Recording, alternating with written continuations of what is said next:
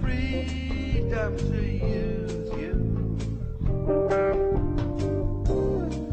And if you don't cooperate, we'll cut.